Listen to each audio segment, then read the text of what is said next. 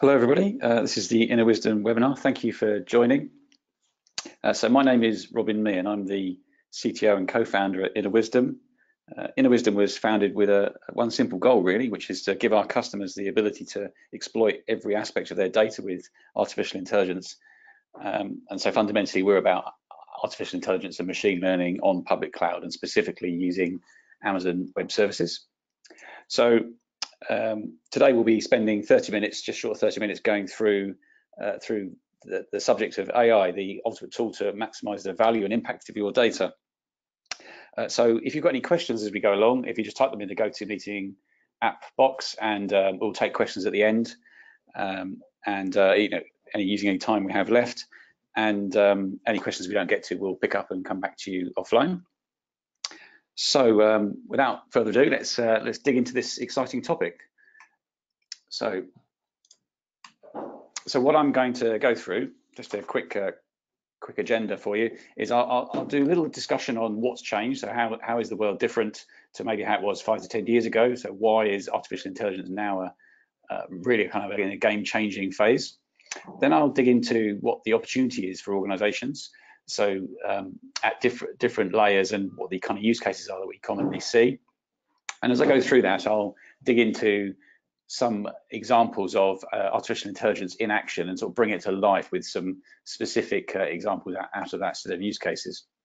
Then I wanted to spend a little bit of time talking about what some of the barriers are for organizations to adopt artificial intelligence and to give some strategies and tactics to overcoming those barriers that we've learned as we've uh, gone through a number of customer um, customer projects. So from our experience, uh, and just give you some some tools uh, to help you tackle those.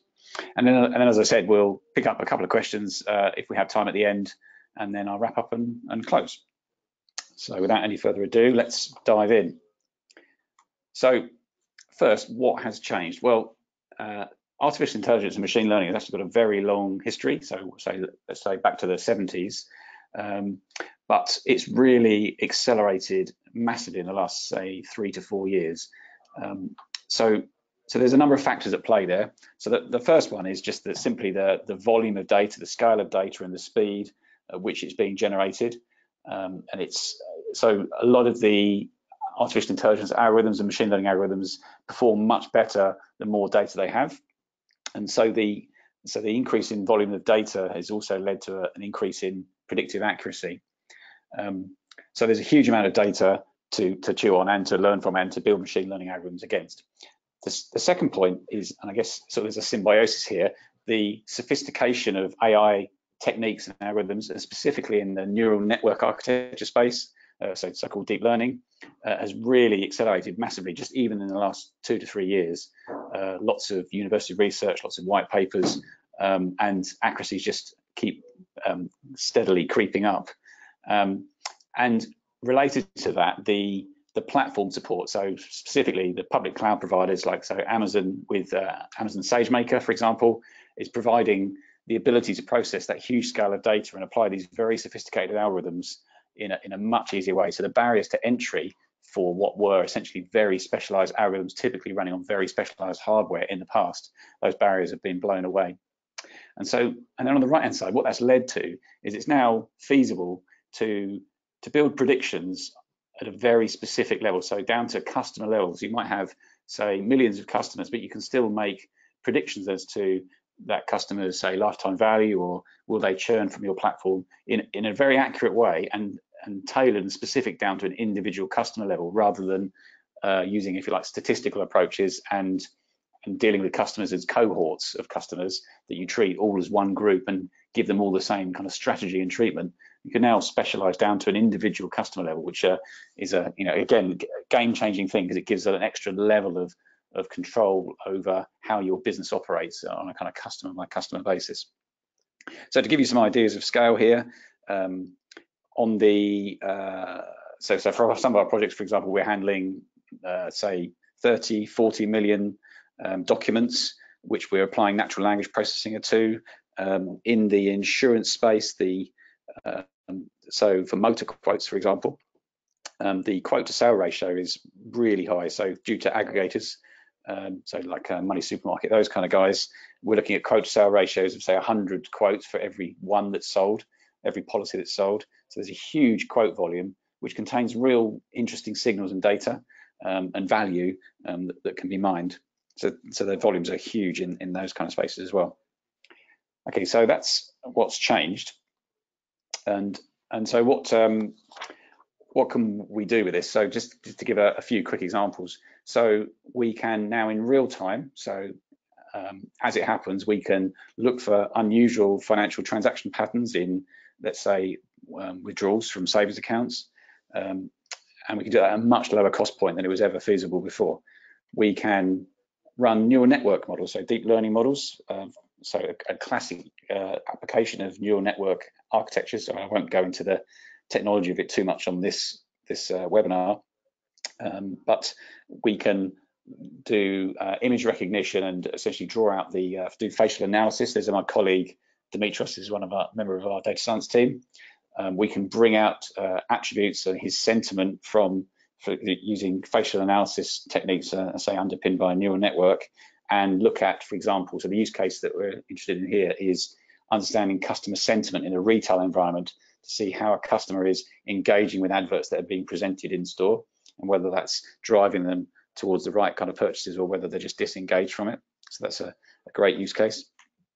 And then another um, another real-time use case is around uh, this is natural language processing, so NLP as it's called, and this is applying sentiment analysis in this case to a live Twitter stream to understand the impact of uh, news or say marketing activities for a specific brand to understand how their brand perception is being received uh, by customers, but in a, in a real time way. So those are the kind of things that we're doing and, and now can be done, a, feasible a, a kind of price point that just wasn't possible before. So let's look at some of the opportunities that exist for organizations uh, in a bit more depth. So it, it's it's hard really to, to think of any public or private sector organizations or, or any areas of life, uh, life or work that are not being impacted by the application of artificial intelligence. Uh, it's every sector, so it's financial services, it's um, retail, it's medical, it's military, uh, human resources, manufacturing, and so on and so on. So these are horizontal uh, kind of use cases, horizontal considerations that would apply to almost any any sector. and like any disruptive technology, it, it, can sometimes be hard for organizations to to understand how they can see that the trend is there, but it's hard to see the applicability to them sometimes. Um, so that's uh, that's why we we use this this kind of slide. So just split into top line, so revenue generating uh, use cases, scenarios, and bottom line, so cost control and risk management type use cases. So just to pick out um, some examples from the top, so, so we've got like new revenue streams, uh, acquiring new customers more efficiently, so kind of the marketing side, um, and uh, converting more customers, um, and retaining those customers, so churn management, or and, and the example we just showed around natural language processing, around understanding your brand perception in in a kind of real-time way, even um, related to say uh, TV ads, for example. And on the bottom line, uh, there's things like automated compliance controls, identifying fraud, reducing fraud, two kind of quite different use cases, uh, better understanding of your commercial, you know, financial risk or preventative maintenance for uh, asset-rich organisations who've got physical assets. So to pick out a couple, um, couple there, so at the top, um, so we're working in uh, with, with, a customer, a financial services customer, on a completely new revenue stream that gives them a completely additional uh, new line of business, if you like, based on using their existing data, but in a kind of richer and, and deeper way. Um, we did a, an initial feasibility assessment in five days just to build some very quick predictive models uh, running on uh, Amazon SageMaker, in fact, to to understand whether their hypothesis was valid, as in whether the business, the new business value stream would uh, would pay back and what kind of value was hiding in there. Um, so that's one example. And then on the um, on the bottom side, bottom line side, the uh, another project we're working on is around debt collection. So optimizing how collections teams collect uh, debt or bad debt from from um, customers in a B2C model. So optimizing the collection strategies, but not on a cohort basis, as I mentioned before, but on a per customer basis. So this particular customer is best called by the telephone on a Friday at three o'clock because that's your best chance of of driving uh, driving your collections up. Um, so those, those, are two sort of examples I just want to pull out. So then just digging into those um, couple more examples in a, just a bit more detail. It's a couple I wanted to go through. So just to bring it to life even more, if we look at customer conversion, okay? So uh, this is a kind of classic um, machine learning use case. So what we want to do is we want to uplift the conversions on a website. We want to sell more of our product on our website. So the outcome, I'm, I'm, sort of focusing on the outcome first and then working backwards as to how we get there. So the outcome was recommendations about how to grow revenue and margin. So fundamentally what to do in a in a pricing sense to increase uh, revenue without without decrementing the margin. Um, so it's an optimization challenge. So the way that we did that was we derived a set of insights about about customer buying behaviors and buying patterns. And uh, here's a couple of visualizations that show uh, what that really looks like. So um, if I start on the right, you can see that, so the blue dots represent customer quote opportunities that the customer didn't buy, and the red dots represent customer quote opportunities that the customer did buy. And you can see just, so what we've done here is we've taken a very complex data set and a very large data set, and we've compressed it down to two dimensions so we can visualize it, so we can plot it. And you can see immediately just by human inspection that there's there's a pattern there, there's patterns there that could be exploited by a machine learning algorithm. You couldn't programmatically code for it very easily, but a machine can learn those patterns. So on the left there, what we've got is um, is some insights around what are the attributes of a customer that actually cause them to buy or not buy your products? What are the features of a product? Sorry, the features of a customer who uh, what, that drive them to be one that buys or doesn't buy. And obviously we've anonymized this, but um, you can see which features really matter, which are the, the features that make a make a big difference to their buying or not buying, and which features really don't matter at all. So how do we generate those insights? Um, so the way we do that is we take the raw data after our data preparation and fundamentally we build a predictive model. And um, which I won't go into the technical gory detail of. Um, so uh, I explain a bit more actually in a, in a, few slides on another example. So we build a predictive model and then from that we can use various tools and techniques to mine out from the model. So uh, essentially extract from the model what it has learned from the data. So it's a machine learning model that can make a prediction, but we're also bringing out insights um, which are the, really powerful about what it is that drives customer conversion or not customer conversion, which can then be applied to the, the pricing strategies to uplift revenue. So there's an example of uh, uplifting conversions in a kind of, uh, say, a web B2C um, financial services example. So the second one I wanted to go through was on the compliance side, so specifically around anti-money laundering or detecting um, account behaviors that are may, may be indicative of money laundering. So just to set the scene, so the requirement here, so from the FCA, the regulator, uh, the FCA require that financial services organizations uh, have steps, have controls in place to identify potential money laundering activity and then to report accounts, uh, I think on a monthly basis, back about which accounts may be um, indicative of money laundering. So it's so that so FS organisations have to have these controls in place. The challenge is that as you get to any kind of reasonable scale, you can't do this in any kind of manual way. So so you have to have automated controls that maybe then have some degree of human inspection for the um, the most obvious worrying accounts, if you like. Um, so it's a, an automation challenge. Um, so how how do we tackle this? Well, just stepping through. So the first step is getting access to the data and preparing the data. And probably, as a rough rule of thumb, we might spend 60% of our time and our effort actually in data preparation and sort of iterating through that. Um, and when we're improving our predictive models, we might uh, most of the time we're actually improving the data to feed into the to the model rather than tuning the model itself. Um, so I won't dwell too much on that um, just on this webinar. Then we uh, then we want to visualize and understand the data. So this is so there's inherent structure in the data set. These data sets are really big, really complex, so very wide and very deep, if you like, and multi-dimensional problems. So it's it's it's hard, if not impossible, through human inspection to understand the, the inherent structure and uh, and, and its signals that are in the data set. Um, so we use a number of techniques. This is just one technique called t-SNE, uh, which we use to understand what the implicit structure of the data is. Um, and then once we have understood the data set in more detail, we will then go through a, a modeling phase. and we'll build basically algorithms, automatic algorithms using machine learning, um, and make predictions. Or in this case, we're predicting, uh, we're essentially scoring, if you like, coming up with a number that that defines what the uh, how anomalous this savings account is in the broader context of accounts. So how unusual is it?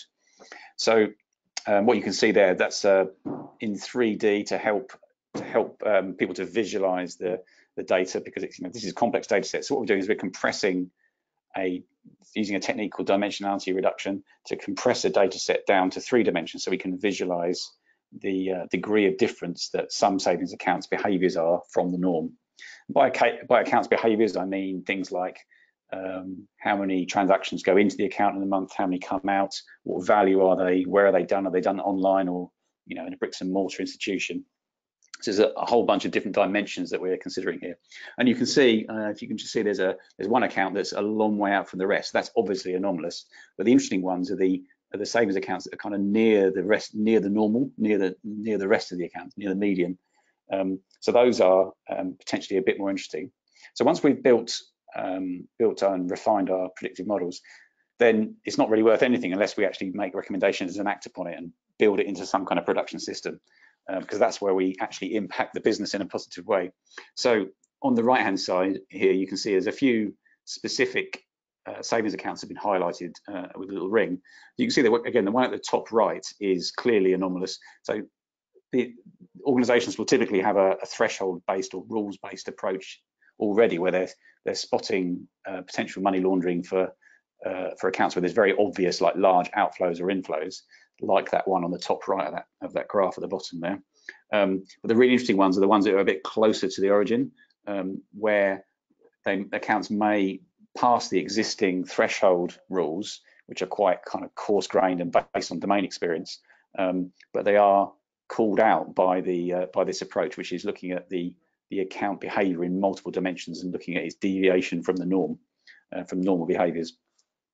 So, um, so what you would do is you would use both approaches, both the threshold-based approach and also this ad additively, so it's complementary um, approach of identifying um, these these accounts that are different to the to the normal population, and those are the ones that you would feed into your your um, fraud team or your your customer services inspection team for deeper analysis and maybe send off to the FCA. Okay. Okay, so now I'd like to just go through some of the adoption barriers that we see for artificial intelligence. Um, so this is based on all the, the projects we've, we've run and our, our, experience. And we tend to see the same patterns um, emerge in terms of some of the challenges that our customers have, uh, or, or I guess we have on our customers' behalf sometimes. So to start off with, it's really key to, to, to, to understand where to start in your AI journey. Um, what we typically find with customers uh, is that there's a there's a huge range of potential applications of artificial intelligence in their organization. Everything from NLP on chatbot logs to uh, document processing uh, to structured uh, like conversion um, optimization I've mentioned or churn analysis. You know, there's there's there's there's there's so many. So um, quite often we do a broad sweep with all the uh, all the departments, if you like, of an organization to bring out all the potential opportunities. And of course, each department, each department head has their sort of favorites because that's the bit they're gold and motivated on. So um, what what's required here is that you need some kind of prioritization scheme, some kind of selection process that allows you to whittle down where where to start. And and here's an example, an anonymized example from another customer. So we typically we look at the business value and impact of um, of a specific AI opportunity. So how impactful will it, will it be on the business? But we also have to consider over what time frame. So what's the sort of time to value of that?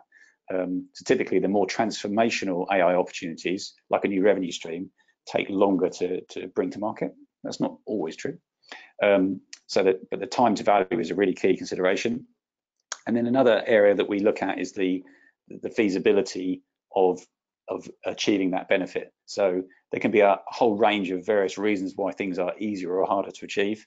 So they can be technical, so it could be algorithmically challenging. Um, it could be the data volumes aren't sufficient. It could be the data quality is or isn't sufficient. It could be uh, commercial barriers, like you don't own the data or you haven't got um, rights to the data. Uh, data privacy issues, although we have various anonymization strategies and techniques to deal with some of those uh, some of those considerations. Um, and there could be political considerations like the chairman just likes this one and that's the one that's going to get us going. So sometimes those those factors uh, play in. It's life. So the, the, key takeaway there is is pick your battles basically. Um, you know, be brutally focused and pick your battles and don't spread your limited resources too thinly because you'll you'll kind of just get a kind of failure, a broad failure across the whole set rather than two real big successes that allow you to to build upon and, and start generating some business value. So then that leads us on to, okay, how do you actually go around getting buy-in for, for your prioritized um, AI opportunities?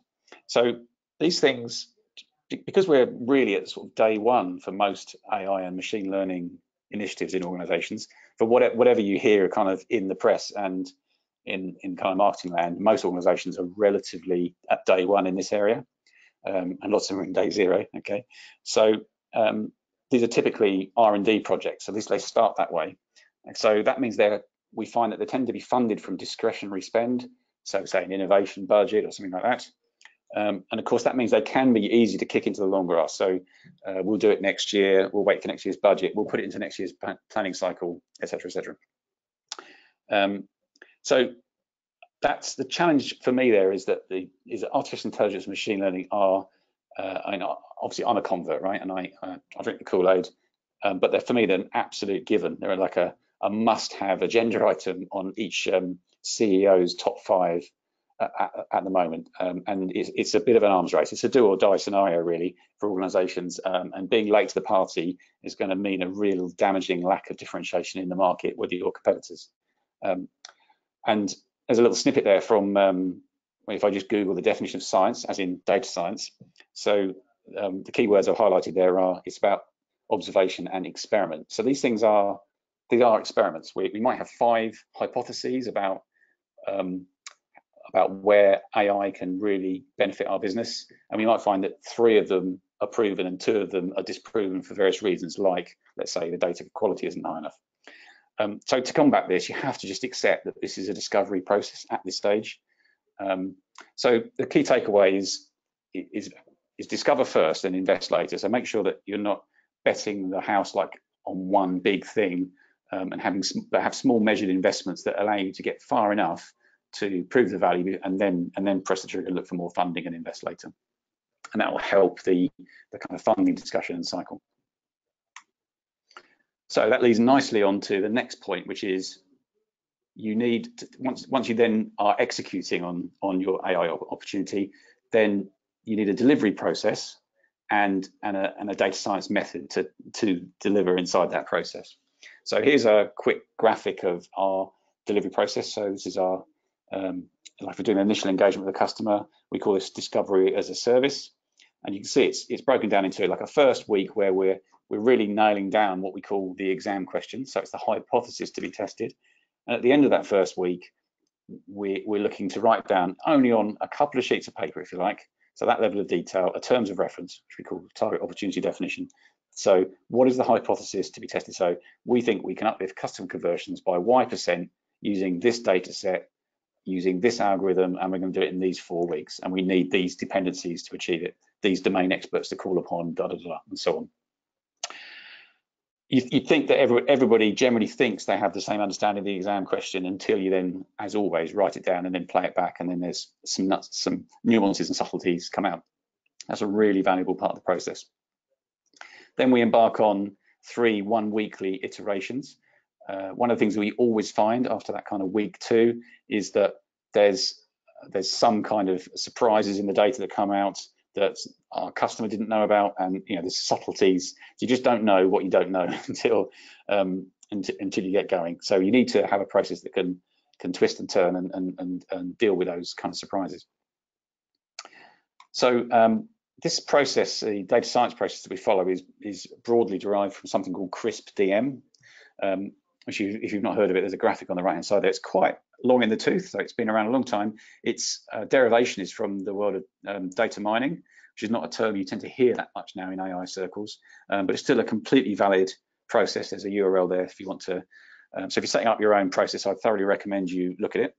Um, and, uh, and we've essentially taken that process and tweaked it for our own purposes to to ensure that we have frequent uh, frequent time box delivery iterations and, and minimize the initial upfront cost and and have a way to deliver and collaborate with our customers. So, um, so the key takeaways there is, is I think you should be brutal on scope um, and really define what success looks like. So a few like five top critical success factors at the end of that week one, everybody signs up on it and off we go. Have an iterative approach, so iterate, but with a defined end, so time boxed. Uh, so one week isn't enough to explore these typically, these hypotheses in enough depth, and um, and 20 weeks is too long because you kind of it is dragging on. You need to get be punchy and do it in let's say three weeks is what we find. And then the last point I wanted to make is um, is that have a platform. So you don't want to have any barriers in the way of your data science activities. Um, so we have a platform called RAMP, uh, the Rapid Analytics and Machine Learning Platform, which is underpinned by Amazon Web Services. And this allows us just to move really quick, basically. That's the, the point, is not to have any barriers in, we're focusing on the business problem, not the not kind of the heavy lifting and engineering. So we need to, just working, working from the bottom of the stack up, we need to ingest lots of data of lots of different types, so structured, unstructured, streaming data, batch data, relational databases, and so on. So we need to ingest those into a data lake model and in a, in a secure way. We then need to apply a whole bunch of services to those, so natural language processing or neural networks or um, standard um, predictive um, sort of scikit-learn type models, for example. There's a whole range of services that we need and tools we need to apply. And then at the top layer, we need to then visualize those um, in lots of different ways and ultimately build them into operational production systems, uh, whether it's streaming data or batch data. And then around that, we need to have all the standard enterprise security, uh, automated deployments, high availability, and, and, and so on that you'd expect. So that the key takeaways there that I wanted to stress were that um, enterprise grade data security is a day one requirement for these projects because you're handling production data from day one. There's no point performing machine learning on a test data set, right? You've got to be building AI against your production data set, which typically means it's got quite high security considerations. So it's, not this is not test and dev, this is using production data even from day one of the data science work. Uh, so you need a platform that doesn't stop you from doing that, you know, enables that. Second point is absolutely leverage public cloud services to accelerate and for cost efficiency. So uh, you, the days of setting up your own, you know, waiting months to set up your own tin and, and, infrastructure and then kind of installing the services yourselves when they're already quite commodity are gone. So absolutely leverage those for speed and cost. And the last point is just be ready for production rollout. We're doing this because we want to expose services um, for, into our production systems, like make predictions from our website, for example. So you need a, an endpoint. You want to deploy your model to an endpoint, like a Amazon SageMaker endpoint, for example. So you can do that at scale quickly um, and not get bogged down by the heavy lifting.